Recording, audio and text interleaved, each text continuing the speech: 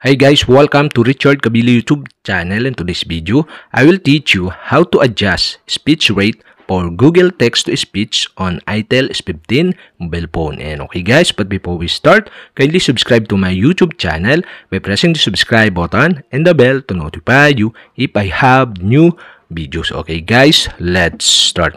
So okay guys, here in your ITEL S15 mobile phone, you'll have to do is go to settings, In Settings, scroll down and go to System. Here in System, go to Language and Input. Okay, tap this.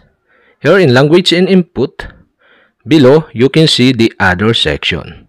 In Other section, you can see the text-to-speech output. You'll have to do is tap the text-to-speech output. Now you can see here the speech rate. And okay guys, to adjust the speech rate, you'll have to do is, you can see the adjustment here, and you can adjust to the right to hide the speech rate. Or you can adjust to the left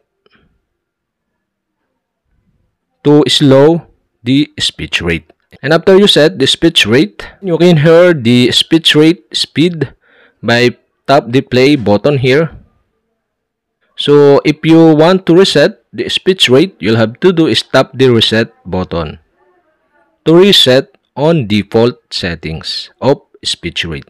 And that's it, okay? We have successfully adjust speech rate for Google Text-to-Speech on ITEL S15 mobile phone. And okay guys, if you have a question, kindly comment below. And don't forget to hit the subscribe button and the bell to notify you if I have new videos. Okay guys, thank you for watching.